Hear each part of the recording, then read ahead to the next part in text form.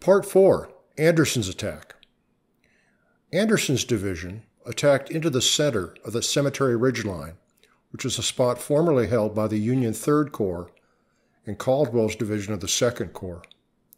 Caldwell's division and most of the 3rd Corps had been drawn into the fighting around the wheat field, and now there was a huge gap here.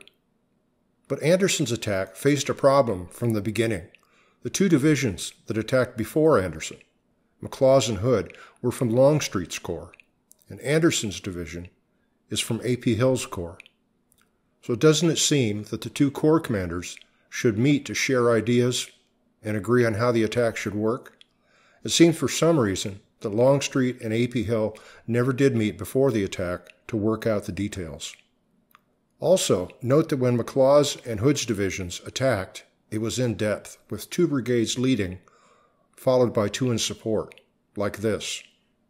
But Anderson's division attacked in a single line. Let's look at the position just before Anderson's attack started.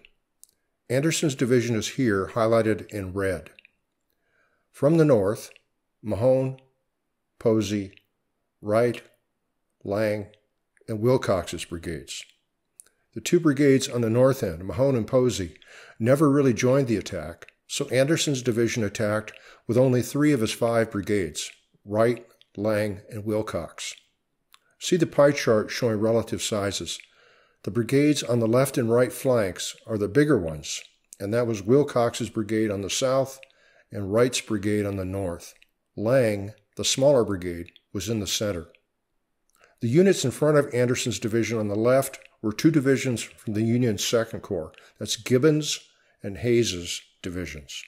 And on their right was Humphreys' division from the Third Corps. Let's start the animation shortly after 6 p.m. Fighting was raging to the south between Longstreet's troops and Union troops around the wheat field. At about the same time as Barksdale's brigade launched their attack, Harrow's Union brigade was moved south, and two of their regiments were moved forward to Emmitsburg Road. This was done to try to fill the gap between the Union's 2nd and 3rd Corps. Around 6:30 p.m., Anderson's division started their attack. Two regiments from Hall's Union Brigade were sent south, again trying to fill the gap between the 2nd and 3rd Corps.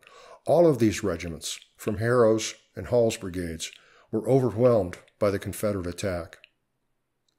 Willard's and Smyth's brigades from Hays' division were also moved south, again trying to reinforce the line. General Hancock, the Corps commander, personally led Willard's brigade south. Humphreys' division was prepared to counterattack but was overruled by General Birney, and he ordered them to make an organized retreat. I talked about this in part three. General Birney was appointed to take over Third Corps by General Sickles when he was wounded and see up to the northeast. Williams and Steuart's brigades from Ewell's Corps were moving into position, preparing for the attack on Culp's Hill.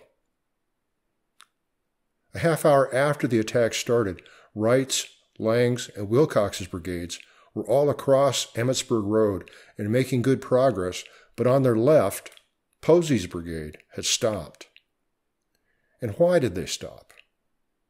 More on that later.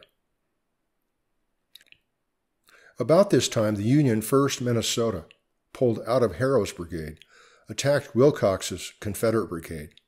And it doesn't show on my map because the 1st Minnesota was a regiment, and the map doesn't show regiments, but it happened about here, marked by the black X. According to Bradley Gottfried in his book, Brigades of Gettysburg, the 1st Minnesota charged Wilcox's brigade three times and slowed their advance but the cost was that two thirds of the regiment were killed or wounded in a 10 minute engagement. Following the 1st Minnesota attack, Willard's brigade attacked both Barksdale's and Wilcox's brigades and stopped their attack. Note that Ewell's attack on Culp's Hill to the north was now underway, and down here, brigades from the Union Sixth Corps were streaming forward toward Little Round Top. Shortly afterward, according to Bradley Gottfried, Lang's brigade in the center had stopped to reform and catch their breath before a final assault. And then they got word that Wilcox's brigade, on their right, was retreating. the brigade commander, Colonel David Lang, began to fear being surrounded, and apparently at that point they were ordered to retreat. As Wright's brigade got closer and closer to the crest of the ridge, their commander, General Ambrose Wright, got more and more worried about his flanks. Lang's brigade on the right had stopped. Posey's brigade on their left was nowhere to be seen. And according to Bradley Gottfried, Wright appealed to his boss, General Anderson, the division commander, for help. Anderson's answer was that Posey's brigade had been ordered forward and Wright should continue to attack. Wright's brigade reached the crest of the ridge, penetrated the Union line alone, and then faced counterattacks on their front and both flanks. And Gottfried quoted a statement by General Wright. We were now in a critical condition the enemy's converging line was rapidly closing upon our rear.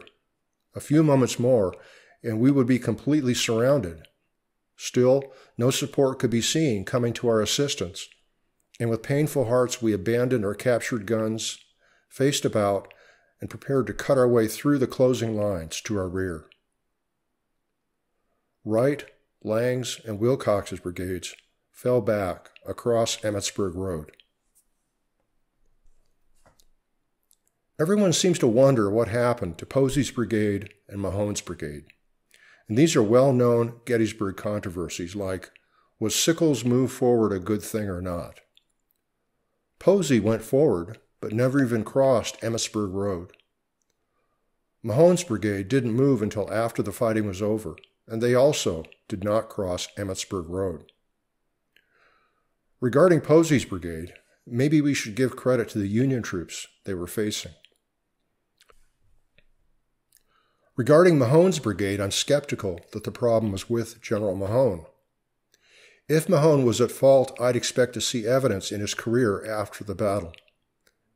Maybe he'd retire or get transferred away. But on the contrary, Mahone remained with General Lee's army, was eventually promoted to Major General, became a division commander, and was with Lee at Appomattox. It seems the verdict of his superiors was that General William Mahone was a good commander.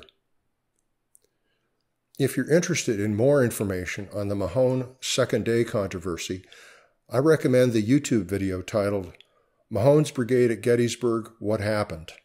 It's 51 minutes long. I think it was very interesting and it made lots of good points.